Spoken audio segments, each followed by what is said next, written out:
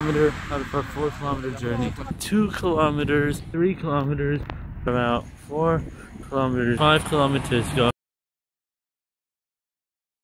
I didn't make a video for the beginning part, but I just wanted to tell you we reached one kilometer out of our four kilometer journey. Although this time it took us 10 minutes because most of the time we were running, but some of the time we were walking. So is that okay guys? Just wanted to make a little video you. Now I've ran two kilometers, but this foot is getting tired and it's already hurting a little bit. And so I might not be able to run any further. And I might need to take a break. But just know that we're halfway through this journey.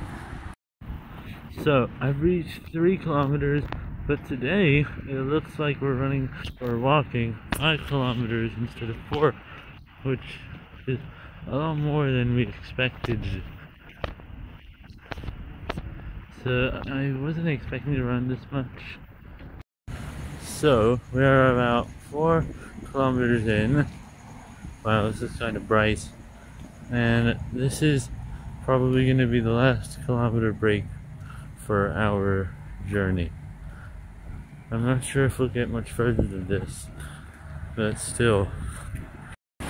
We've reached five kilometers, guys. I'm getting really tired. And this is more than I'd ever run today.